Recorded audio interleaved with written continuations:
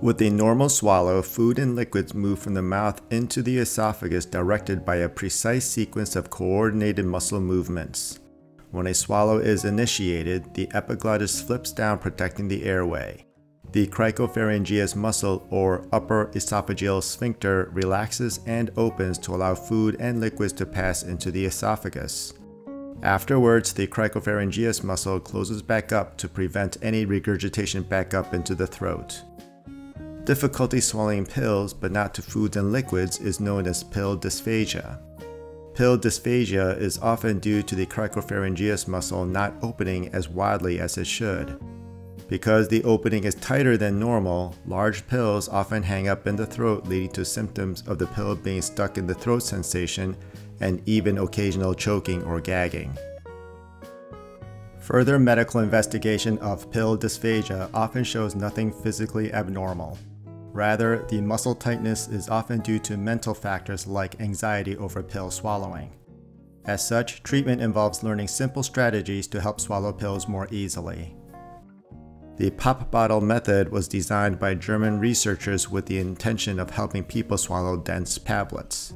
To swallow tablets the pop bottle way, you'll need a water bottle with a narrow opening. Start by placing the pill on your tongue.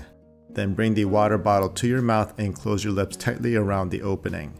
While keeping contact between the bottle and your lips, use a sucking motion to swallow the water and tablet. Keep in mind that this method doesn't work as well with capsules since they have air inside and weigh less than water. For both capsules as well as tablets, one can try the lean forward method. Start with your chin up and your shoulders back as you place the pill in your mouth. Then take a medium-sized sip of water, tilt your head forward touching your chin to your chest. Swallow the pill and water while your head is kept bent. The idea is to move the pill back towards your throat as you tilt your head forward and give you something else to focus on as you swallow. Finally, you can bury the tablet or capsule in applesauce, pudding, or other soft food. This tricks your brain to swallow something you're already used to swallowing. Place the pill on top of a tip of a teaspoon and cover it in a fruit puree or pudding of your choice. Then swallow.